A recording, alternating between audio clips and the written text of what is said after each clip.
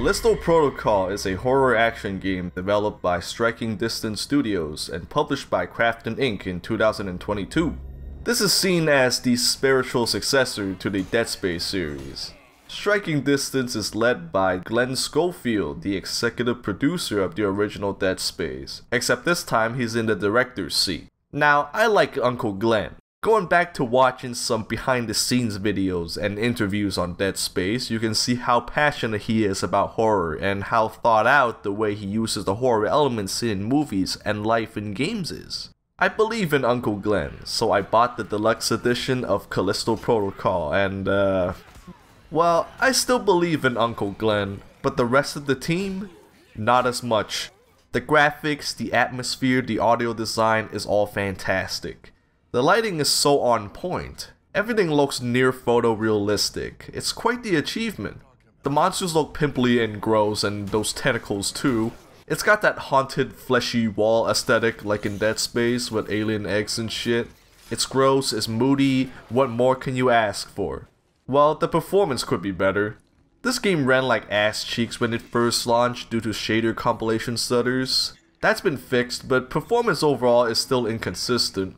There are areas where the frames drop for no reason, like in the tram area or the ladder before the sewers. I played the game with high and medium settings with FSR quality mode on, but the performance didn't change in those areas. It's fine most of the time though, so it's not the worst thing in the world, but it's not ideal. Overall the game looks great, but not the most optimized. Callisto Protocol is a linear action game with the occasional side paths to explore. The combat consists of using your stun baton, guns, and grip. Basically, it's the same routine of comboing an enemy and blast them with a gun at the end. And if there are spiked walls nearby, you can use your grip to throw enemies into them. It looks flashy, gory, and sounds crunchy, but not enough to carry the whole game in my opinion. Melee feels like a turn-based game. After your combo, you have to wait for the enemy's combo to end first before you can go back in for more damage if you go in even a second too early, you're gonna take some damage. You have no choice but to go at the enemy's pace. I guess you can use your guns, but ammo is not plentiful, so melee is the main way to go. Every encounter feels the same. Some guys come after you, you hit them a few times, then you shoot their tentacles. Dodging feels way too simple. So what you do is hold left or right, alternating between the two to dodge, with down being block. There's no timing involved, like dodging at the right time for iframes. You just hold a direction and when an attack comes, you automatically dodge. There's not even a need to dodge in a specific direction depending on which way the enemy attacks. Like if a guy attacks from the left, you should dodge left because if you go right, you'll get hit. It's more simple than Punch Out on the NES and that shouldn't be happening in games today. There seems to be a lot of enemy types, but they're not that significantly different to fight. They're the regular guys, regular guys that spit, explodey guys, invisible guys that you have to wait to show up to hit, deaf guys that you can stealth around, all of which would be faster to take down if you just whoop their asses. Some sections you have to take the stealth route, but most of the time you can go all in and you'll be fine. There are a total of 5 guns in the game, but two of them, the skunk gun and tactical pistol, feel redundant as the hand cannon and riot shotgun do their jobs just as well. Remember how in Dead Space you get like four to five different armor suits to show your progress in the game? Well here you get the prisoner uniform and the armored suit. That's it. I don't want to compare this to Dead Space, but it's hard not to. Both are sci-fi horror games from Uncle Glen. Both have dismemberment mechanics, a weapon upgrade system with alternate firing modes. Upgrading your armor gives you more storage space, no HUD with the health bar on the character, and the story is about aliens taking over humans and transforming them. Callisto Protocol is objectively a lesser experience compared to Dead Space. Dead Space has way more weapons with little redundancy and more armors to get which leads to more upgrades to obtain, meaning more reasons to replay the game. Also, the enemy variety is just way better. Uncle Glen brought the horror and atmosphere, but it looks like the gameplay people didn't put as much effort into this, and unfortunately, this is a video game and the gameplay part should be the main dish, not the graphics. It's flashy, but at what cost? There are a couple of sections where the jump scares occur way too often. There's a section where this head with a long neck wanting to deep throat your cock bursting out of his sack. Also, there's this bug thing that pops out of lockers and chests to kiss you on the lips. In those sections, like every 5 minutes they come out to suck your shit. I'd rather be playing a hentai game. I wish buying ammo and health injectors was faster. You have to buy them one at a time and it can take a few minutes to get the amount you want. Overall, the gameplay, balls blue. The story starts with Jacob, a space trucker man, delivering some cargo out of Black Iron Prison located on Callisto, one of Jupiter's moons, with his buddy Max. Some terrorists by the name of the Outer Way board the ship and they crash back to Callisto, killing Max. Captain Ferris of Black Iron comes to rescue Jacob and capture the terrorists, but for some reason the warden radios him to also capture Jacob. Jacob and Dani, the terrorist woman, get thrown in jail. Jacob gets a cute little health bar attached and a nightmare sequence starts with this weird cube thing and gets jump scared awake by Max. The prison is now in riot mode, with prisoners breaking out and these weird pimple men everywhere. Jacob meets Elias, a fellow inmate, and they work together to try and escape this nightmare and figure out what's going on. The story was intriguing enough to get me through, but it left me wanting more. This feels like a part 1 of a trilogy with the cliffhanger ending and all that. If you don't want spoilers, skip to this timestamp. Okay, so Jacob and Elias work together to bust their nuts out of prison. They had to split up and Jacob had to go through the sewers and it's disgusting and full of shit. The bros eventually get back together but Ferris returns from getting jumped by Pimpleman, looking all grey, and vacuums up Elias, killing him. Elias is the first character to help Jacob escape the prison and he did a lot for Jacob from showing him the way and even giving him the shiv that he uses for backstabs and getting out of QTEs. Elias was arrested for defending himself in a fight and presumably mistaken for starting it. Jacob blames Elias's arrest on bad luck, but Elias says it's a result of his choices in life that led him to that moment. He thought it was bad luck too, but he realized that he can't run away from what he's done in life and accepted it. Presumably, that fight was started because he was involved with the wrong people before. This relates to Jacob's story arc. Over the course of the game, Jacob keeps saying to himself that he doesn't belong in this prison and that it's a mistake. Jacob teams up with Dani later on to attempt to escape, but the warden shoots their escape ship and they end up in an old mining colony underneath Black Iron Prison. The miners dug up this huge alien thing with some shit called the biophage inside it that accelerates evolution. The biophage was then tested by Warden Cole's scientists on Europa, which resulted in a bunch of people dying from it being a tainted sample.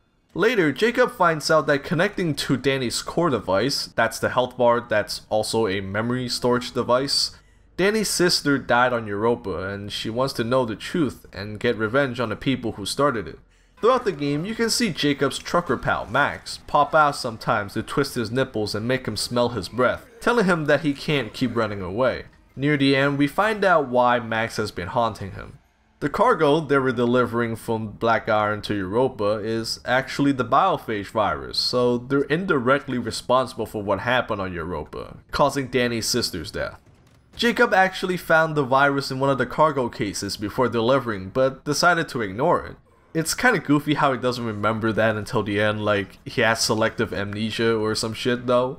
After discovering the big alien head, Jacob grabs a sample of Biophage, fights guardman Ferris who's all grey and nasty and shit, Dani gets deep-throated infecting her with Biophage, and they get captured by robots.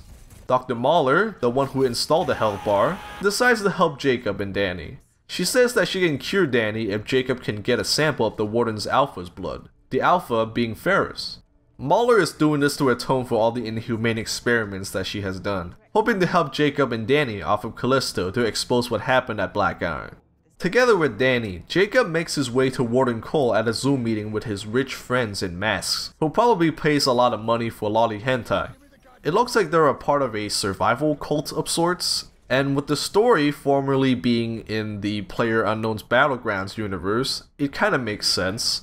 Cole justifies the use of biophage as a means of evolution, stating that the human body is not fit for space. Jacob fights Ferris again and then a bigger, more disgusting version of him, take his blood and cure Dani. Cole fucks off and Jacob runs with Dani to the escape pods. Only one escape pod is available however, so Jacob pushes Dani in it along with a sample of the biophage and off she goes. Because Jacob connected with Dani's core earlier, she now knows everything he knows and are able to expose Cole's cult. Jacob stays behind to fight the monsters, buying time for Dani to escape. At the end, Mulder shows up in a hologram form to inform Jacob of a way to escape. We get a Ferris jump scare and that's it. I think the story is good, albeit simple. It's about a dude being thrown into prison thinking, I don't belong here. And at the end, he's like, oh shit, I do belong here. Not the deepest thing in the world, but I thought it was well presented. There are some iconic looking imagery at points, and that really helped me push forward when the gameplay didn't. I would have liked to see more of the villains. They didn't show themselves until the end, and they're gone within a few minutes. That cliffhanger ending didn't help the story at all, but at least I still want to see more of it. Not the DLC though. That shit's whack. Final Transmission is the one and only story DLC for Callisto Protocol. After the Ferris jump scare, Jacob wakes up somewhere. Dr. Mulder told Jacob in the ending that she found a way out, so he follows her instructions to escape. This DLC serves as Mulder's side of the story. You can find audio logs with Mulder explaining what she was doing with the biophage. While the Warden tested the biophage on human subjects, Mulder went the synthetic route and used the prison security bots, which turned into these fleshy looking biobot shits, which is cool. Later on, your stun baton breaks and you upgrade to this big hammer so you can kill the biobots better. Again, pretty cool. What's not cool, however, is actually fighting the biobots. They can come electricity when you dodge their attacks sometimes, and it's not clear when they do it. Like, after dodging all of the attacks, you think it's time to go in for some hits, but they start charging and you barely have enough time to get away because after you hit it, it takes a couple of seconds to recover. If there's gonna be a patch in the future, please make them charge a bit slower. The environments don't seem to be anything new. It's mostly just recycled assets from the base game but remixed a bit. Anyway, shit gets weird. At a certain point, hallways keep looping, weird messages graffiti on the walls and floor. It's clear that this is all in Jacob's head. Jacob finds Mulder in the lava room, but she gets hentied and dipped in lava, and later, he fights and kills her in a boss battle. Jacob leaves the lava room and immediately ends up in his ship, and he escapes, living happily ever after. The end. Except not really. In the ending of the base game, Jacob actually got wrecked pretty hard, leaving only his upper body intact. Mulder dragged him to her lab to upload additional data into his core to transmit to Dani for more proof against Cole and his cult. After this final transmission, the lab collapses, presumably killing Mulder and Jacob, but at least the truth is out there now. The end. This DLC is not good. It's 2 hours of gameplay for $15 and the story is very inconsequential, you get to play with a hammer and kill biobots, and you get some audio logs about Mulder's research, but none of it really changes or advances the story in any way. If you stitch the ending of the base game with the ending of the DLC, you would get the exact experience that you would have spending 2 hours playing this thing. It's really disappointing. It's like playing the original Super Mario Bros. 2 straight after Super Mario Bros. 1. There's some new elements, but it's largely inconsequential. Next up is Riot Mode. This is basically a horde mode like Mercenaries from Resident Evil or COD Zombies. You start in a room where you can select modifiers for your run, and out the door you go to whack some space zombies. You kill zombies, get points for upgrades, activate traps, and kill more zombies. It's kind of fun, but there's not much else to say. There's one problem. It's $10! $10 for a game mode with one map and a couple of skins. It's outrageous.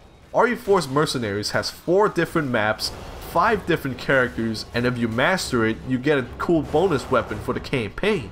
Riot Mode has a fraction of what the Mercenaries offers back in 2005 and for $10.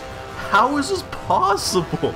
Uncle Glen, who did this? As for the other DLCs, they're not much better. The Outer Way skin collection is, well, skins for $5. The Contagion bundle has more skins, adds new death animations, and Contagion mode, which is just a harder difficulty that what I imagine to be just changes to a few lines of code for $10. So again, you're paying for the art. Where's the gameplay, man? This comes back to the issue of all visuals, no gameplay. Uncle Glen knows horror and his team knows visuals, but when it comes to making the game deep and have the game modes connect in a meaningful way, it's ready ball sack, bro. I want to cry. I spent over a hundred dollars on Callisto Protocol because I believed in Uncle Glen, but it looks like I shouldn't have believed in his team as much. The performance is inconsistent, but the visual and audio department is awesome. The gameplay is so simple and lacking in so many aspects that it makes Dead Space from 2008 look like a quadruple A game by comparison. The story is interesting, but it feels like the beginning of something grander rather than its own thing. My dick got hard just for it to get flattened by a bulldozer. I'm not mad, I'm just disappointed. I still have hope for Uncle Glen and his team. I don't want them to live on the streets, but they gotta get their shit together. If there's ever a Callisto Protocol 2, let's hope that it's more like Dead Space 2 rather than Callisto Protocol. Thanks for watching, see you whenever the next one is. Later.